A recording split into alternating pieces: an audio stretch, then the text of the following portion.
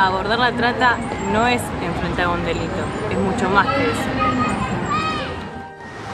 La trata implica la violación de los derechos de la mujer, adolescentes, niños y niñas.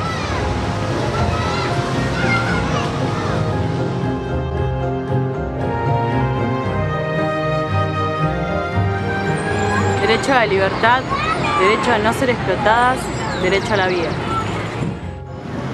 Miles de mujeres, niños y niñas, no importan su edad, son engañados con empleos falsos.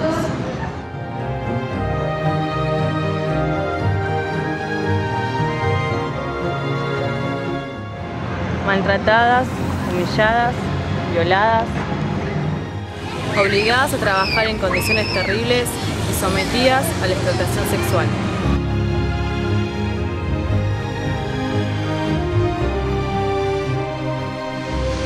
Calcula que por año 4 millones de mujeres y 2 millones de niñas son sometidas a explotación sexual.